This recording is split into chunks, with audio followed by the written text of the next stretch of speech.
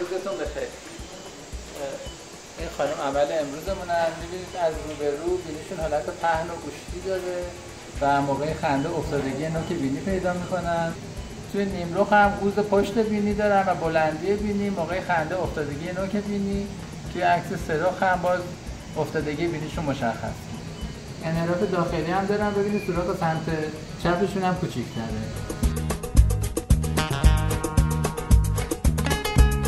تمام شده توی نیمروخ ببینید رو بوز بینیشون اصلاح شده افتادگی نوک گرفته شده ارتفاع بینی کمی کمتر شده. انحراف بینیشون اصلاح شده سوراخ‌های بینیشون هم خیلی قرینه تر شده.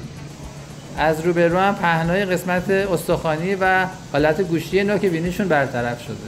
عمل خوبی بود خدا رو شد تا چند لحظه دیگه هم به ریکاوری منتقل میشن.